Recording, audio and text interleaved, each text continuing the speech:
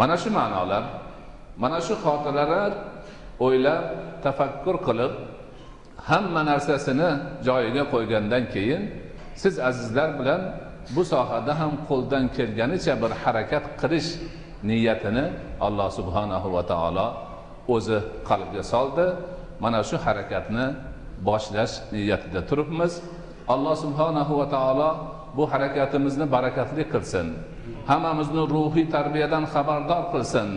Qalblarimizni ruhlarimizni nafslarimizni poklash azoda qilish allohning muhabbati bilan to'ldirish ibodatlarimizni ruhoniyatini mohiyatini haqiqatini buyukligini his etish ularni halovatidan bahramand bo'lish baxtini hammamizga nasib qilgan bo'lsin. Azizlar odam zot jism va ruhdan iborat. Insonning jismi alloh taolo tarafidan loy qorib o'z qo'li bilan yaratgan sopolga o'xshagan narsa bo'lgan. Qur'oni karim ana shundoq vasf qiladi. Insonning jismi shu. Tanasi badani shu. Loy tuproqdan loy qorilgan loydan shakl yasagan shakl qatib chertsa ovoz chiqaradigan sopol tarziga kelgan. Ana badan shu. Ana shu badanga alloh taolo o'z ruhidan jon puflagandan keyin uni tanasi qimirlab o'rnidan turgan.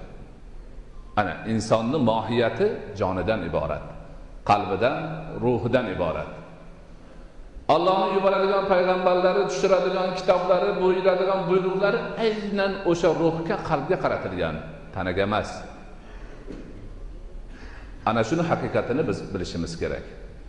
Islom dini insonni jismini tanasini tarbiyalash sog'lom tutish bemorliklardan davolashga e'tibor berganidek insonni qalbini ham tarbiyalash poklash sog'lom tutish bemor bo'lib qolsa davolashini yo'lga qo'ygan.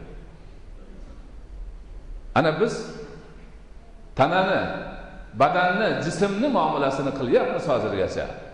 Lekin qalbni ruhni nafsni davosi sog'mi sog'masmi kasalmi kasal bo'lsa qandoq ekanligini hali uncha bilganimiz yo'q.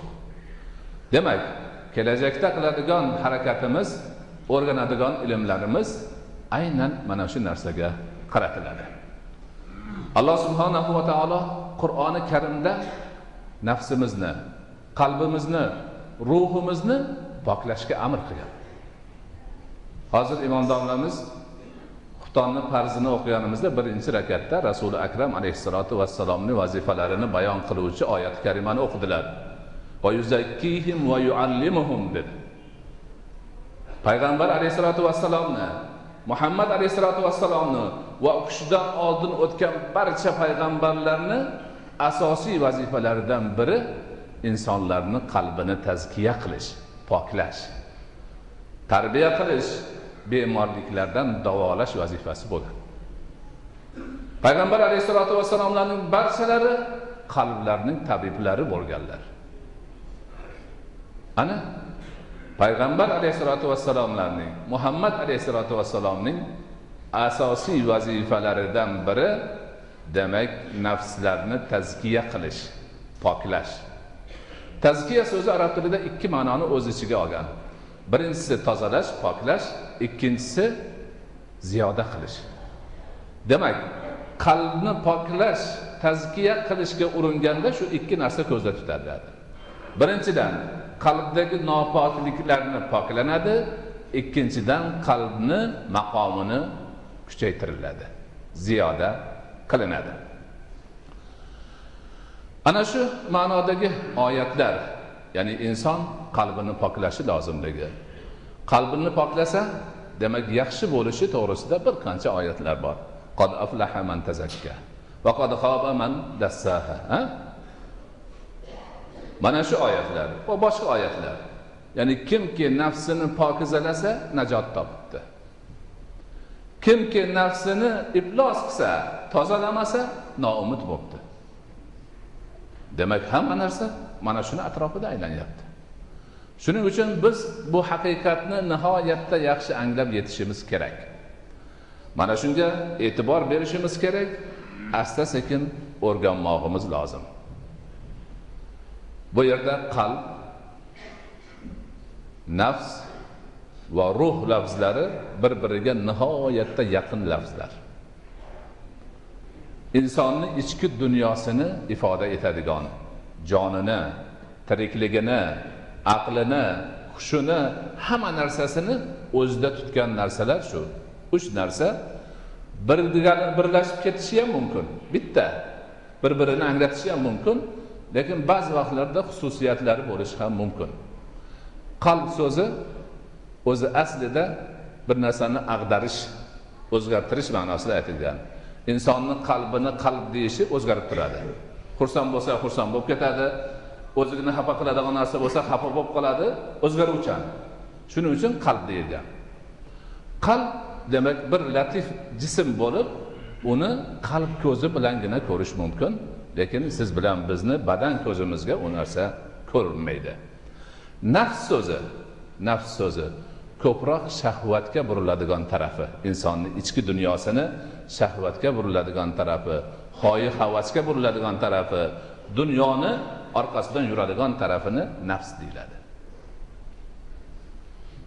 Ruh esa bularni demak hammasini jamlagan oliy bir maqomdagi insonni ichki dunyosini demak e, nomi ruh deb ataladi.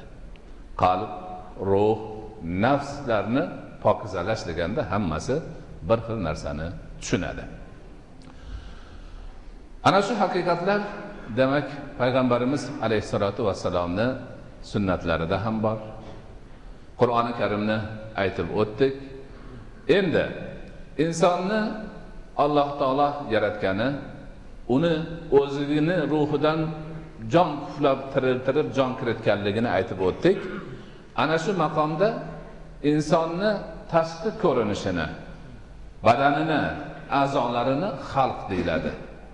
Palonchini xalqi chiroyli desa yaratilishi chiroyli degani qomati go'zal degani ko'rinishi go'zal. Ichki dunyoni insonni ichki olamini xulq deyiladi. Bitta harfda bor bor xalq xulq. Demak tashqi ko'rinish badan a'zolar hammasi xalq. Falonchini xalqi go'zal desa demak badan tuzilishi qaddi qomati chiroyli degani. Xalqida aybi bor desa demak ko'rinishida biror aybi bor. Xulq desa ichki dunyoni tushuniladi va falonchini xulqi go'zal desa demak bu odam ichki dunyosi go'zal odam ekan. Qalbida nafsida ruhida poklik bor ekan yaxshilik bor ekan degan tushuniladi. Demak bu xulq deb ataladi va xulqni yaxshi yomonligi insonni qilayotgan amalidan belgilanadi. Birov birov bilan chiroyli muomala qilsa xayri ehson qilsa yaxshilik qilsa bu xulqi go'zal odam deyiladi. Chunki xulqini undayotgan narsasidan u go'zal ishlarni qilyapti. Bir odam badxulq bo'lsa odamlar bilan urush janjal qiladigan bo'lsa yomonligini ketidan quvib yuradigan bo'lsa bu odam badxulq odam xulqi yomon odam deyiladi. Chunki qilayotgan ishlari yomonligi uni xulqiga demak dalolat qilib turibdi. Endi qadimdan islom kelishidan oldin insoniyatni tafakkuri boshlangan paytdan mutafakkirlarni o'rtasida tortishuv bo'lgan. Insonni xulqi xulqi atvori o'ziga qo'shilib yaratilgan bo'ladimi? Yoki tug'ilganidan keyin paydo bo'lib uni kasb qiladimi? Tortishuv mutafakkirlar faylasuflar o'sha nomi chiqqan yunonlar hammasi tortishgan. Bu tortishuvda ikki tarafga odamlar bo'linishgan. Birlari aytganki insonni xulqi atvori olloh uni yaratgan paytida qo'shilib yaratiladi onasini qornida turganda.